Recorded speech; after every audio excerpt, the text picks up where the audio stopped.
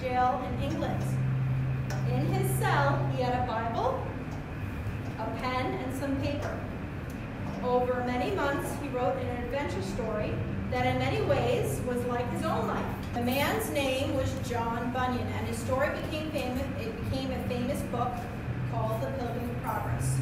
John was born in 1628 to a poor family in England.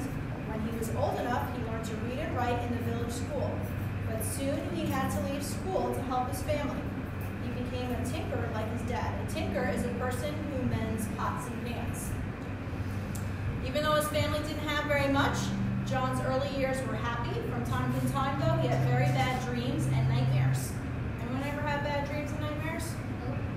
When John was older, he joined the army and fought in a war for England. After the war, John got married to a woman named Margaret. They had four children. But John was troubled. He had a hard time believing in God. His wife told him about God's love and forgiveness. John came to trust in the Savior and have peace in his heart. After he put his faith in Christ, he joined a church in his hometown of Bedford. However, it wasn't the official state church called the Church of England. During this time, John discovered that he had a gift for preaching God's word. John's wife died at a young age, and a few years later, he married his second wife, Elizabeth. By this time, he had become a popular preacher. But since John didn't belong to the Church of England, he was arrested and put in jail for preaching. Elizabeth was a brave Christian.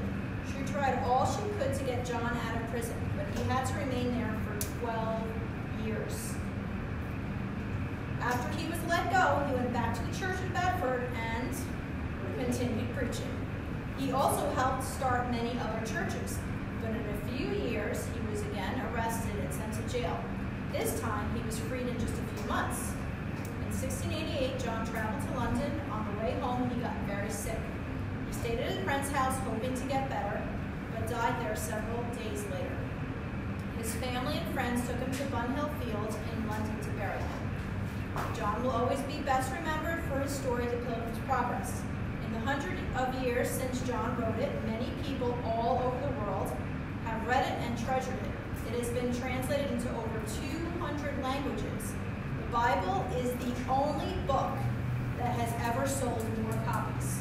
The Book of Progress is an allegory. An allegory is a story with two meanings. First, this is an exciting adventure of a man and his friends on a journey to a wonderful place. On their way, they meet many challenges, dangers, and enemies, but it's also a story that teaches important truths about Jesus and every Christian's journey through life.